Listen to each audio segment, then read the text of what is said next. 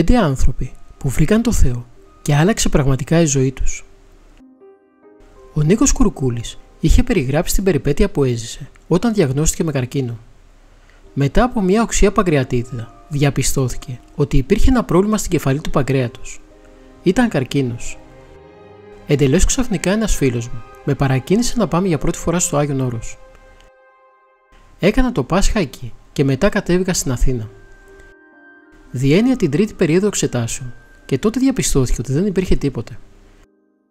Μου είπαν ότι πρόκειται για περίπτωση αυτοίασης, δήλωσε συγκινημένος ο τραγουδιστής.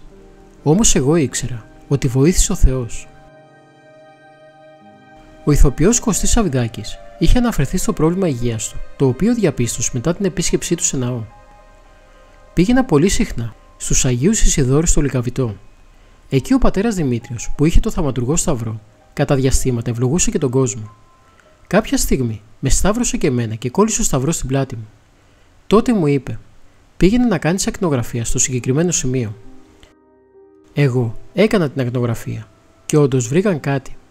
Δόξα τω Θεώ, έπεσα σε καλά χέρια και πήγαν όλα καλά.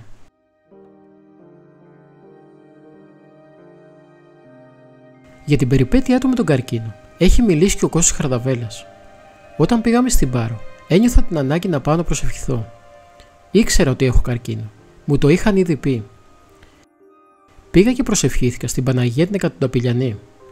Έμεινα απέναντί της και της είπα: Βοήθησέ με να το αντιμετωπίσω και να ζήσω.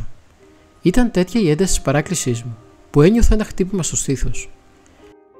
Ένιωσα ότι υπάρχει μια θεία προστασία στη μάχη που θα έδινα.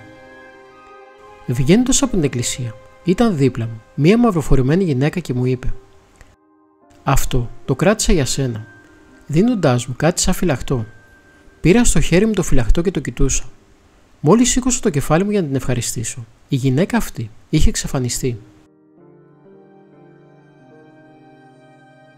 Ο Γιώργος Θεοφάνος μίλησε δημόσια για το θαύμα που βίωσε η Ρούλα Κορομιλά. Παιδιά, ήταν τόσο άρρωστο αυτό το κορίτσι μετά από τόσες προσπάθειες για να κάνει παιδί. Φύγαμε και πήγαμε μαζί το βράδυ στη Σουρουτή, στο μοναστήρι του Αγίου Παϊσίου και καθίσαμε μαζί με την Ιγουμένη και τις Καλόγριες και κάναμε μία παράκληση. Και η Ρούλα μετά την παράκληση σηκώθηκε αμέσως από το αναπηρικό καροτσάκι. Η Μαρία Μενούνος είχε πει «Είχα μία αποστολή. Μόλις γονάτισα, άκουσα το χτύπημα του Αγίου Νεκταρίου ο Άγιος Νεκτάριος έχει χαρίσει τόσα πολλά θαύματα. Έκλαιγα με λιγμούς από χαρά. Ήταν τόσο συναισθηματικό. Καθώς νιώθω ότι έχω μια τέτοια σύνδεση μαζί του. Και αυτό με έκανε να νιώθω ακόμα πιο ευγνώμων για τη σύνδεσή μας. Η Μαρία Μενούνος έδωσε κρυφά μάχη με τον καρκίνο στο πάγκρια το 2023. Όπως δηλώνει η ίδια, ήθελε να τον ευχαριστήσει για όλα τα θαύματα και τις θεραπείες με τις οποίες έχει ευλογηθεί ήταν ο πρώτος σταθμό στο ταξίδι της στην Ελλάδα. Λένε ότι οι πιστοί μπορούν να ακούσουν τον Άγιο Νεκτάριο στον τάφο. Μόλις γονάτισα κι εγώ, άκουσα χτύπημα. Αχνό χτύπημα. Ρώτησα την Ιωάννα τη φίλη μας που μας καθοδηγούσε αν ήταν αυτός και μου είπε ναι, αυτός είναι. Αλλά δεν μπορούσα να το πιστέψω. Έμεινα με το αυτί μου στον τάφο για πολλή ώρα. Προσευχήθηκα στον Άγιο Νεκτάριο και είπα: Σε παρακαλώ, Άγιο μου Νεκτάριε, κάνε τον αμφισβήτητο. Δεν θέλω να φύγω από εδώ χωρίς να είμαι σίγουρα αν σε άκουσα.